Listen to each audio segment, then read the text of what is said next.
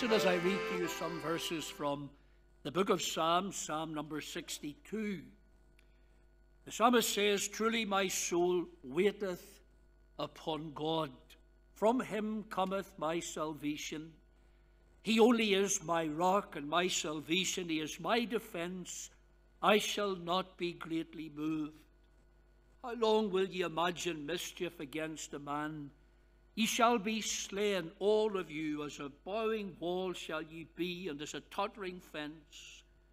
They only consult to cast him down from his excellency. They delight in lies, they bless with their mouth, but they curse inwardly.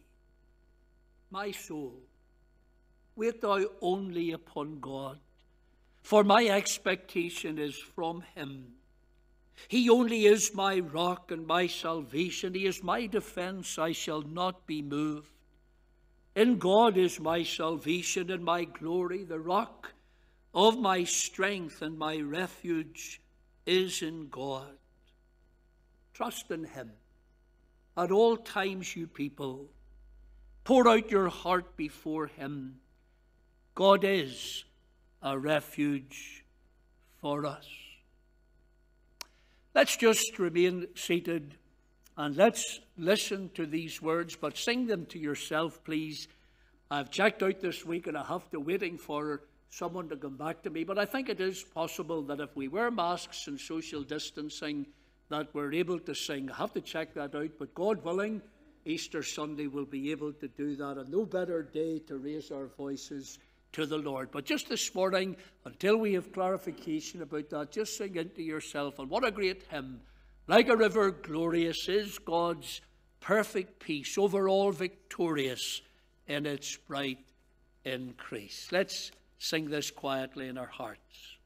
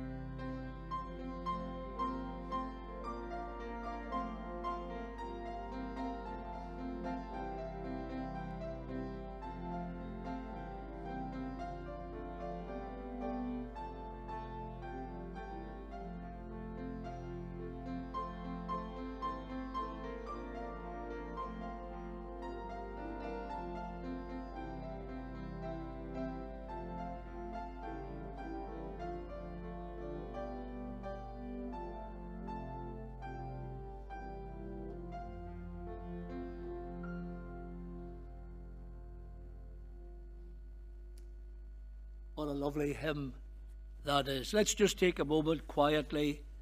Let's bow our hearts together. We have read Psalm 62 and we have expressed our confidence in God. This lovely hymn reminds us they that trust Him wholly find Him wholly true. Let's just come to Him as we bow together in prayer. Our God and our Father, we come again quietly on this new Lord's Day morning and we bow our hearts in your holy presence. We come as always in and through the precious name of your Son, our Lord Jesus Christ. We come to renew our love and our loyalty to you. We come, our Father, to lift our hearts in praise and in worship, acknowledging that you are the God of our salvation, that you are the one in whom we find refuge today amidst all the storms of life. Father, we come to you believing with all our hearts that you are a God in whom we can trust. Many things in life are changing all around us. Circumstances within our own families are changing continually. Yet, what a joy and what a privilege to come on another Lord's Day morning and bow in your most holy presence and know that we come to the one who is unchanging, the same yesterday, today, and forever.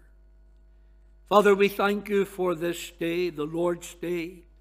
We praise you that in your wisdom you have set this day aside so that we can come apart from all of those things that have occupied our time and our thoughts in the week that is gone, and that we might just now be still in your presence and know that you are God. We come to you, our Father, with all the things that have taken place in life, longing that we might set aside all of these things just now, and like those of old we might see none save Jesus only. Thank you, Father, for this congregation. And thank you for those who are listening in at home, live on Facebook. Father, each one of us are so different and we all have different needs. But we thank you for the sufficiency of your grace. We thank you for your great heart of love. We thank you for your knowledge, for you know each one of us and you know everything about us. And we just pray that therefore you will minister to us individually as we come together just now. We think of those, our Father, in our fellowship and in the wider community for whom things are tough just now. Some as a result of this ongoing pandemic, others because of illness, some because of visits to hospital, others because they're simply getting older and today they find themselves either shut up in their own homes or in residential care. Father, we pray for them. we ask that God's richest blessing would be their portion. The other end of the scale, we think of our children and young people. Lord, these are changing days for them. And we pray that you would bless each one of them and encourage them. And Father, may they early in life learn to look to you learn to trust in you and to know that our God does all things well. Remember your servant Peter as he comes to open up the Word of God to us. Father, how we thank you for your Word, that we have it in our own language, that you have gifted people to open up God's Word and to preach it to us. And therefore we pray for Peter. We ask that he would know God's blessing upon him we pray that he will feel at ease this morning, knowing that he's being borne along by the Holy Spirit, and that God's word will come to us in the power and demonstration of that self same Spirit. Bless all who will handle your word, Father. We thank you now that churches are beginning to open up again. We pray for all your servants right across our land, those that are faithful to the word of God that you would bless them, and that through the word that will be preached today, we'll all be changed. We'll all be drawn closer to our Lord Jesus Christ, and we'll all be more determined to give whatever time we have left in the scene of time to the work of God and to the glorious gospel of our blessed Lord Jesus Christ. So hear our prayers as we come. Just now before you, we give you thanks as always for all your goodness to us, for all that the grace of God has done in our lives, for the place called Calvary, for this Easter time that reminds us not just of the death of one whom we love, but of his glorious resurrection from the dead. For today he's a loving, living, risen, and glorious Saviour, and we offered up our prayers in his worthy and precious name. Amen. Amen. Now, just in case you've come in before I said this earlier on, I want to make you all very, very welcome, whether you're gathered with us here in the building or listening in live on Facebook. It's good to see people returning again because I know it has been very difficult and some people still feel uncomfortable about coming back.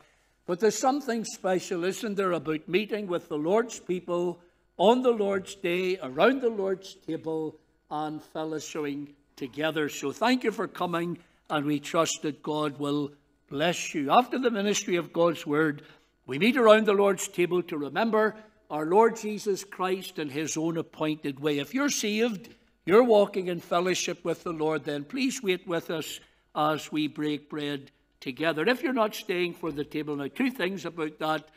First of all, if you're able, would you stand up during the closing hymn, and one of the office bearers will come and show you out of the building.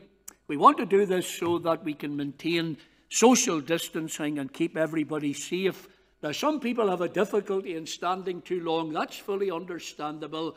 If you're not staying for the table, want to go and you can't stand, if you would just put your hand up when the deacon is passing by, he will see you and lead you out as well. So this is for everybody's good.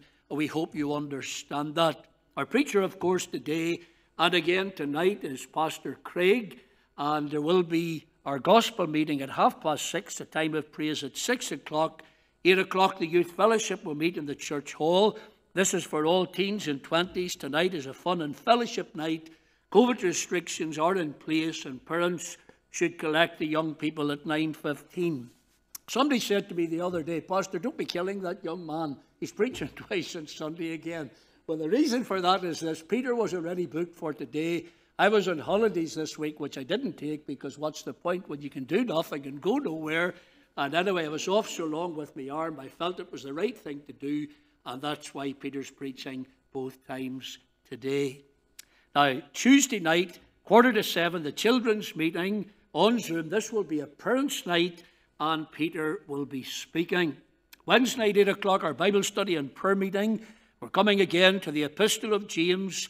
I will be speaking, and then I'll have a break, and Peter will come back the month of April and come back to his studies on the tabernacle. Now, although we'll be in the church building on Wednesday night, we will also continue on Facebook Live. Do adhere to all the restrictions, please, that have been put in place. If you feel unwell or you have COVID symptoms, we encourage you just at the moment to stay at home until you're ready to come back. Next Lord's Day, of course, is Easter Sunday, and both our services will be taking place as from next Sunday that's the morning and evening, both held here in the building, and of course, they will be on Facebook Live as well. Now, there will be no Sunday school, no Bible class. Just as I think about that, for those who are listening on a Friday to Woody's Bible study, there will be no uh, Bible study this Friday either.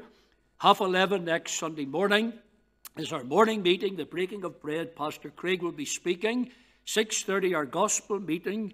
I will be preaching at that meeting, and Isla and Stephanie will be singing. Do remember these meetings in your prayers and also come out and join with us as we meet. There will be hymn singing next week before each service at 11 a.m. and 6 p.m. And there will be no uh, youth fellowship next Sunday night. If you're involved in Sunday school Bible class, I hope already today you've uh, received your Easter egg. If not, see Andrew Shaw about that. Just to remind you again, as a church, we had been taking up an offering for Acre to help with the current situation in Brazil. So many folks have contributed. We thank you for that. I'll give you a total later. But if you're going to give, this will be the last day to do so because the appeal will be closing today. These are all the announcements. They're made subject, as always, to the sovereign will of God. And I'm going to hand over to Peter. Well, good morning. It's good to see so many out. We're starting to fill out rightly, and I'm really pleased to see that, of course, with social distancing. Good to see, of course, some folk in visiting as well. It's good to see you too, and we're glad to have you. No prizes for guessing where we're turning to this morning. Galatians chapter 5, please. Galatians chapter 5 and the verse 22 to the verse 26 is where we're going to read this morning. I was just thinking on my way in for the boys and girls who listen at home and who are here this morning, maybe we could go for learning the fruit of the Spirit. That's verse 22 and verse 23, and maybe we could do a prize for those of you who learn all of the fruit of the Spirit. We can do that in a few weeks' time. We'll give you a few weeks to learn them. But we'll read through this this morning Galatians in the chapter 5 and the verse 22 to the verse 26. And this is the word of the Lord. And it reads But the fruit of the Spirit is love, joy, peace, long suffering, gentleness, goodness, faith, meekness, temperance. Against such there is no law. And they that are Christ's have crucified the flesh with the affections and lusts. If we live in the Spirit, let us also walk in the Spirit. Let us not be desirous of vainglory, provoking one another, envying one another. We trust the Lord will bless the reading of His word to our hearts this morning. Now, of course, over the past number of studies, we've been looking at the fruit of the Spirit, and we've been entitled our series Life as It's Meant to Be. And we've been thinking along the lines, and we've been looking at this passage in Galatians 5, and we're really looking at life as God intended it. That's what we're really looking at. Life as God intended it. And yet, we have marred it so much by our sin. Uh, and if we remember how Paul he commands us in Galatians chapter 5 that we are to walk in the Spirit. And those of us who are saved and who are striving to walk with God, these qualities, these, this fruit that we've been looking at, will naturally begin to grow within us. And it's because of the indwelling Spirit of God. Now, there's something that's important to say this morning. This fruit that we're speaking of, it grows from within the child of God. It's not like a Christmas tree that we come along with the ornaments and we hang the ornaments onto it, that we hang love on. And today I'm going to be loving. I'm going to try and love someone today. And today I'm going to be joyful. But it's this fruit that grows from within. It literally is, as it says, it's like a tree that the fruit grows. And that's what the Spirit of God dwelling within us does. He causes that fruit, this fruit, this love, joy, peace, patience, and all the rest that we're going to be looking at, it causes it to grow from within. And that's so important to consider because as this we strive to walk with God, these qualities, these, these virtues will become so evident and so obvious in the child of God. And we've been asking the question throughout this series are you striving to walk with God? Are you striving to walk with God? And so far, we've thought of a life of love, and then last week we considered a life of joy, and of course we considered the type of lasting and eternal joy that the Lord Jesus brings us. And as He fills us with that joy, that it should overflow in our lives and should show in every circumstance. And now this morning, as you can see in the screen, we've arrived at the third virtue, and we're going to consider a life of peace. A life of peace. Our yearning for peace in this world is expressed in so many different ways. In fact, just taking a quick scan around the world, what you will see is, is that, first of all, you see statues and works of art, such as Christ the Redeemer of the Andes. It's a statue in the border between Chile and Argentina. It's a gigantic figure. It's constructed to celebrate and express hope, a hope for peace. It's, it's there between the two countries, and when they agreed to have peace, they erected this statue, and it's to remind them of that. In Paris, there's a wall of peace. And, and there at the foot of the Eiffel Tower, there's a glass monument, and it has the word peace written in 49 languages. And visitors are encouraged to come along and leave messages of peace in the cracks in that wall. We could go on. We could even talk about the peace wall in our own capital city in Belfast between the Shankill and the Falls Road. A desire for peace all over the world including locally in our own capital city. Many years ago, a man in Santo Domingo, uh, the capital of the, the Dominican Republic, he was so concerned and so burdened, and he was really wanting to see world peace that he decided that he would offer himself to be nailed to a cross as a sacrifice for world peace. The cross was laying on the ground, and Thousands of people watched on television as six inch stainless steel spikes were driven into his hands and his feet. He, he had intended to lie there for 48 hours, but after only 20 hours, he was cut short. And his voluntary crucifixion was brought to an end because an infection had developed in his foot. The newspaper headline read the next day Crucifixion for Peace falls short. That headline, of course, you and I know that that headline could summarize absolutely everything that man tries to do to bring peace to this world. Everything. Crucifixion for peace falls short. And yet, so as much as this world says that it wants peace, it has been elusive of that goal throughout the, throughout the history of mankind because it looks for peace in all the wrong places. And in light of the peace that the world looks for, let's quickly consider the meaning of this peace that Paul is speaking of when we look at the fruit of the Spirit.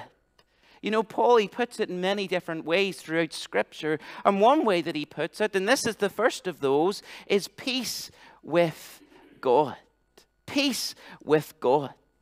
Like the other two virtues that we've considered so far, we must realize that we're considering that this peace, it comes from God. The love, it comes from God. The joy, it comes from God. He is our strength. He is the one who brings these things into our life. And as we strive to walk with Him, He brings each of these virtues into our lives.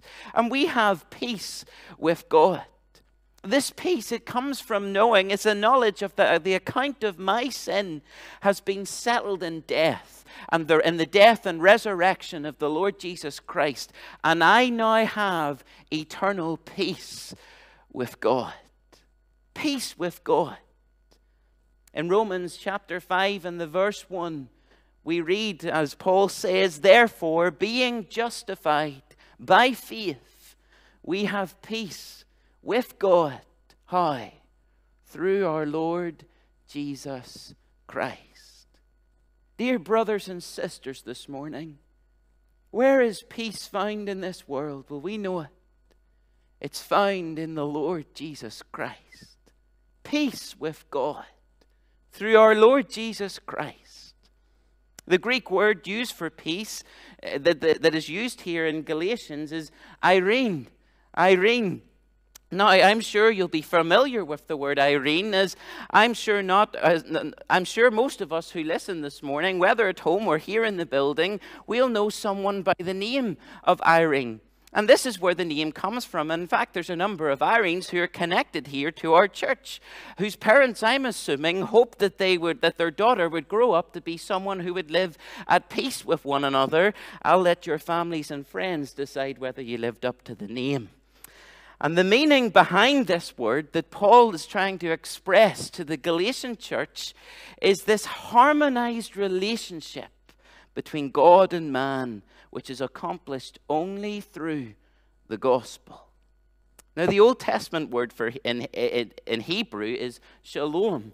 And I'm sure many of us will know that word. And we read of this peace in the Old Testament in the Aaronic blessing in Numbers chapter 6, verses 24 to 27. Listen to it and listen to where the peace comes from. It says, May the Lord bless thee and keep thee. The Lord make his face shine upon thee and be gracious unto thee. The Lord lift up his countenance upon thee and give thee peace.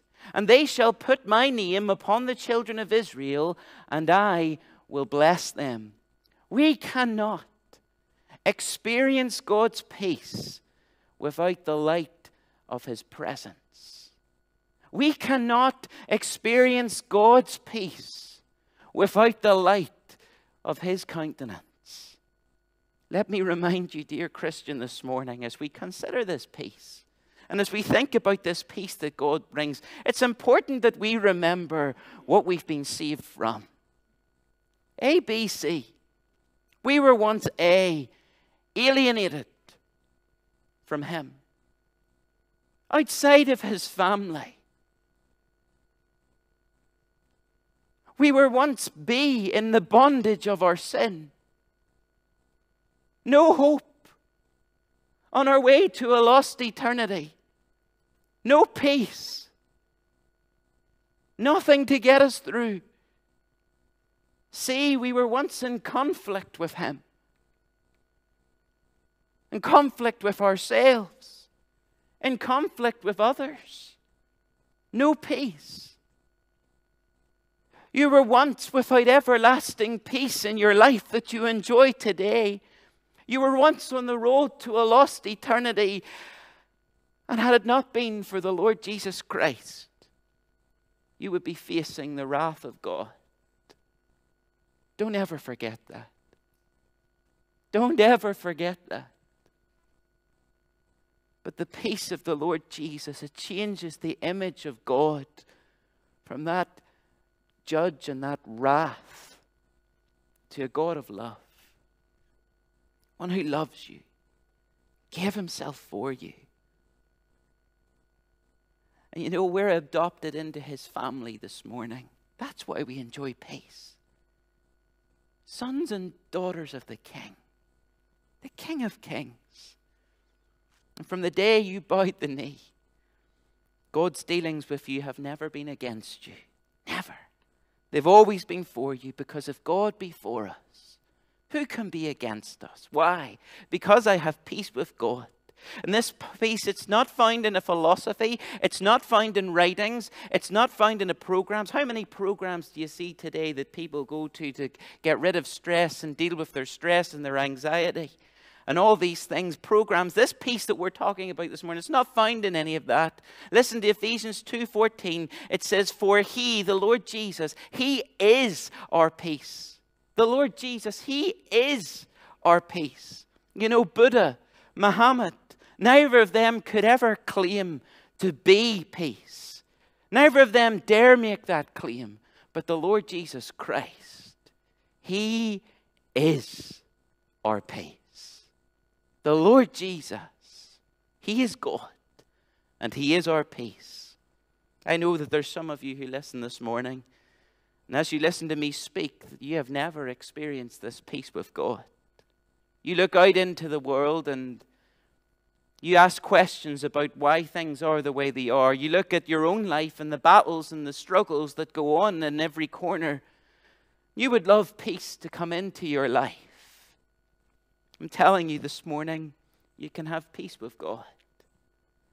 And you can know it right now. Bow the knee, turn from your sin, trust in the work of the Lord Jesus Christ that He accomplished at the cross, and then you'll know peace with God peace with God. Secondly, peace from God. Peace from God. Now, only, now, not only is God's wrath satisfied in the Lord Jesus Christ, but the Lord grants to our hearts peace in every circumstances. Peace.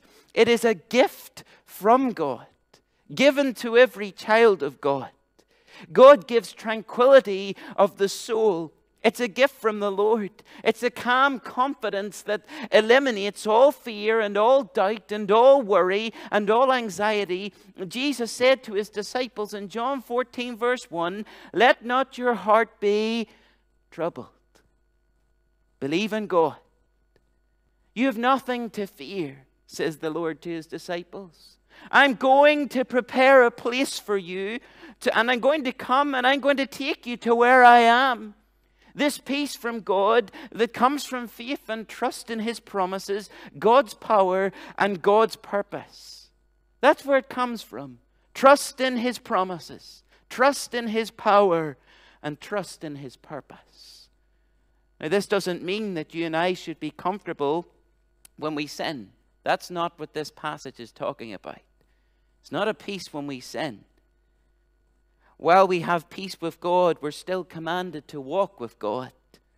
So we should be putting sin to death. But what the Word of God is telling us is that if you are walking with the Spirit, if you're walking with the Spirit, striving to walk with God, well, then we can experience this perfect peace with God in all of life's circumstances. What are you going through a minute? Is there a real storm brewing in your life? Dear Christian, you don't know where to turn. Turn to the Lord Jesus, who brings peace into the situation. You know, there's a very practical example that the Lord Jesus gave us of this peace in the storm in life. We find it in Mark chapter 4. Do you remember what happened? In Mark 4 35, the evening comes, and the Lord Jesus, he says to his disciples, Let's go to the other side.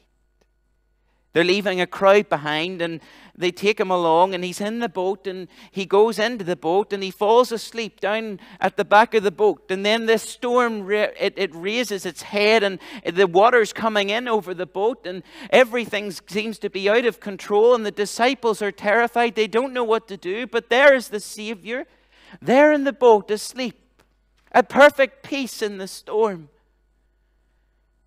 In the back of the ship peace in the midst of the storm. And the disciples, terrified, they're shaking the Lord. They wake him up and they say, Master, carest thou not that we perish? Do you not care for us, Lord? Are you not going to look after us? We're going to die. Can't you see? This storm's too much for us. We can't cope. And then the Lord Jesus, he stands and he rebukes the wind and the waves and he says, Peace, peace, be still. The same Lord who stood in that boat and looked out in the storm and said, Peace, be still, is the same Lord of our lives today. And no matter what you're going through, dear Christian, this morning, no matter how difficult the road may be, the Lord Jesus can minister that same peace into your life right now. The Lord is asleep in that boat in perfect tranquility, and he trusted the Father's will. This is the confidence that you and I can enjoy in the Lord. You know, anyone can have peace when things are going well, when all is well at home, when the physical health is robust, when finances are manageable, when the children are behaving. The world can even enjoy peace in that situation to a certain extent. But when we have peace in the difficult times, that's the testimony that God wants us to bear to this world. I know it's not easy. I know it. And some of you, as you listen to me this morning, say, Peter, you don't know what I'm going through. And you're right, I don't. But the Lord does. He knows all about it. And He can minister His peace into your situation. Peace with God, peace from God, a gift from God. Finally, we have the peace of God. The peace of God. We read in Philippians in chapter 4 and verse 7 and the peace of God, which passeth all understanding, shall keep your hearts and minds through Christ Jesus. The peace of God. Now, as we draw to a close this morning, this is when we get practical again. You see, what we have to remember that as we go through the fruit of the Spirit, that there is the there is the job that the Lord does, and He gives us this love, and He gives us this joy, and He gives us this peace. And He ministers it into our lives, but then there's our responsibility as we walk with the Lord that we are actually showing it to others. You see, there's a there's a vertical Godward element to these virtues, but there's also a horizontal element where we minister to those around us. As the Lord fills us with these things, that we so we, we overflow with them and people can see the evidence of them in our lives. You see, we enjoy so many benefits from the Lord, so many blessings.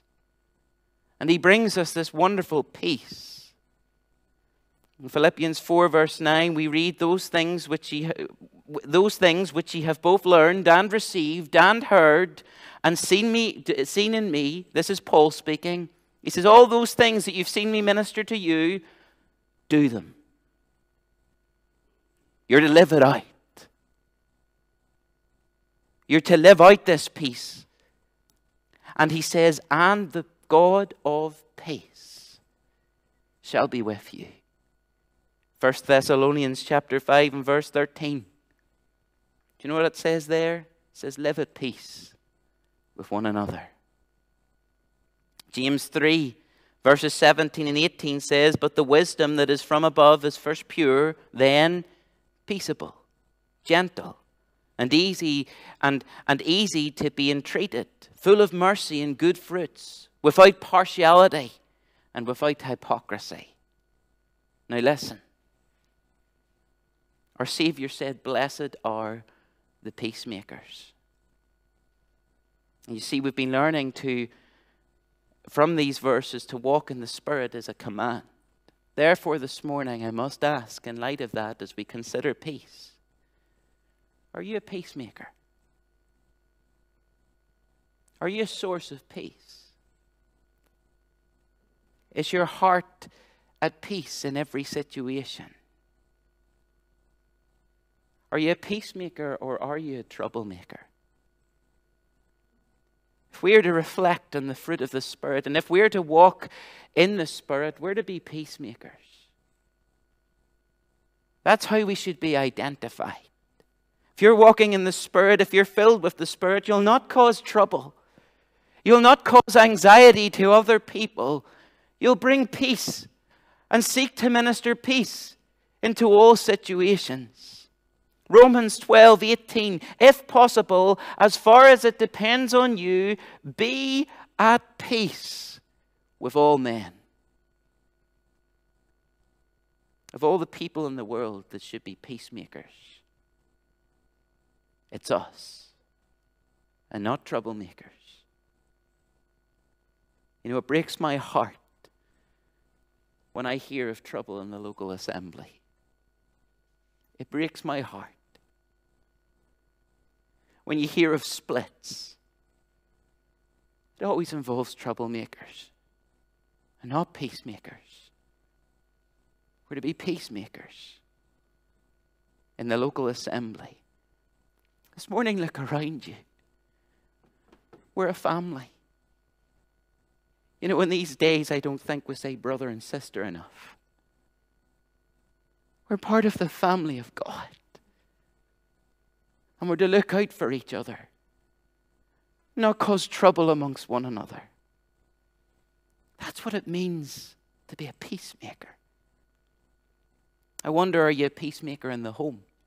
Husbands, do you do all you can for your wives and your children?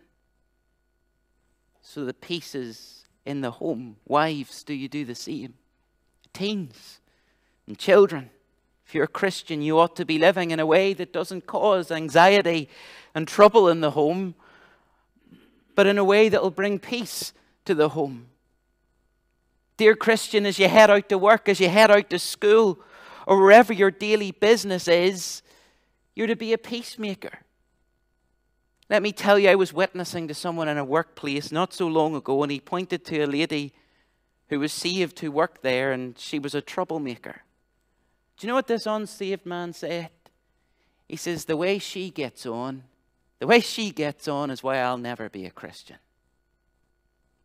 What a terrible testimony. Dear brothers and sisters, this morning, we have peace with God through our Lord Jesus Christ. We have peace from God as He shadows us and protects us in the trials of life. And when we consider the peace that we now enjoy, we ought to reflect that peace in our lives and those who encounter us. If you walk in the Spirit the way God intended you to walk, your life will be full of love, full of joy,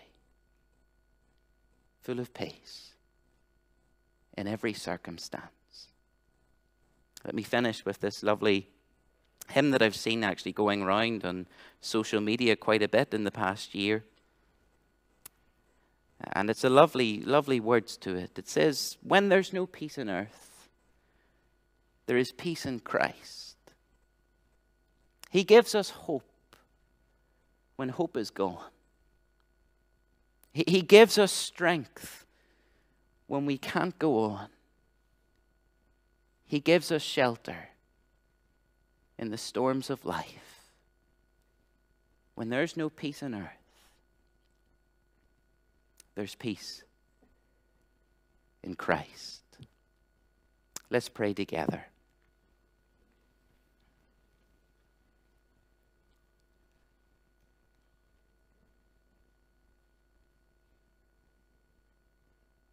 Our Father, we come before you this morning.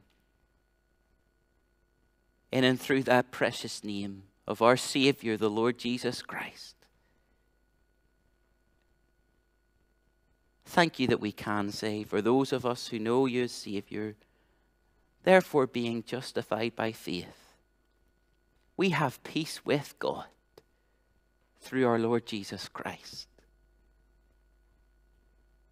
Father, help us understand that. Help us to take it in. What it meant for the Lord Jesus Christ to go to that cross, there to display his love, that we might enjoy an eternal joy and an eternal peace. Father, I pray for those this morning who are going through the trial Father, I pray that they will experience the peace of God in their lives this day. That they will know you close with them. Father, we each this morning praise you for salvation. We thank you, Father, for redemption. We thank you, Father, for every blessing that we enjoy in you. We thank you, O oh God, that one day one day, very soon, we'll be with you for all eternity. And there we'll enjoy perfect peace with God. Father, be with those who must leave us just now. We pray that you will take them to their homes in safety. Bless those who have listened in online.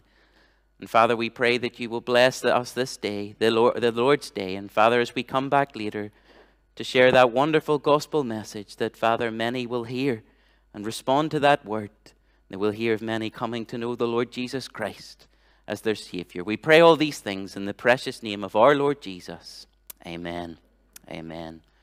Our closing hymn this morning is When I Survey the Wondrous Cross. If you're someone who must leave us now, thank you for being with us. We do appreciate you being out. And if you would just stand and indicate to the deacons that you're ready to go, and then they will lead you out to the door if you wait for them to come to you.